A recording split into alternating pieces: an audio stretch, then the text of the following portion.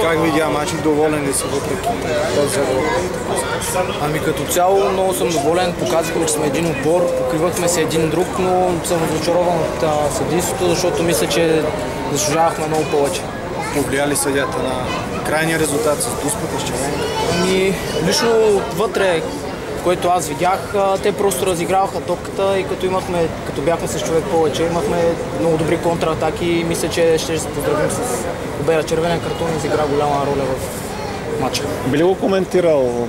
Нещо каза ли Чорбаджийски? Беше ли близо до ситуацията? Бях близо до ситуацията. Лично за мен отвътре не съм, не съм гледал повторението. Той просто игра за топката. И съм, като падаше техния нападател, Чурбаджийски игра с топката и той като падна му се удари в лаката.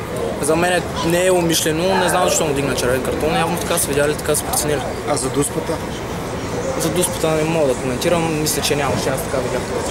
С какви нагласи ще влезете в следващия за реванш?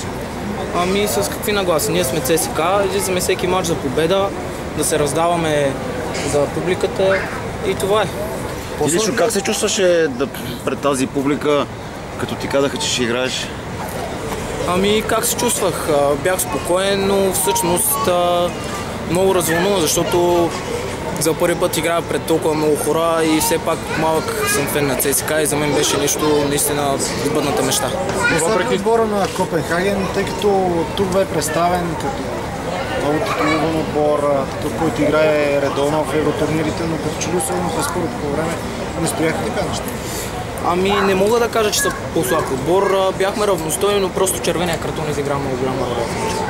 Имате доста контузени, Чорбаджийски няма да играе. Как ще се справите с тези проблеми? Ами ти въпрос към треньора. А смяташ ли, че повлия липсата на някой от основните играчи? Със сигурност да, Манолев, Малинов и Бодуров ни липсаха, защото те са а, много добри футболисти, опитни, с визитки и се надявам следващия матч да ни помогнат. Ще даде ли допълнително самочувствие тази среща? Може би ще се наложи да играеш още след контузията на Джеферсон. Ами не мога да коментирам, не знам състоянието на Джеферсон какво е. Всичко зависи от треньора, той, той решава, аз не взимам отношение в тези работи. Успех.